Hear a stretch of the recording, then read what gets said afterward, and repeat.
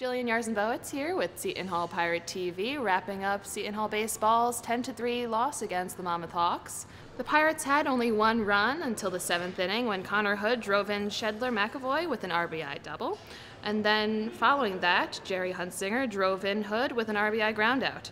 Although Monmouth scored 10 runs, Seton Hall's defense picked up after the fourth inning, preventing any more runs. Despite that, the Pirates did face several pitching woes, including hitting one Monmouth uh, designated hitter three separate times. Today's game did feature a plethora of freshman batters and included three freshman pitchers, including Ryan McClinsky, Sean Miller, and Hunter Waldus.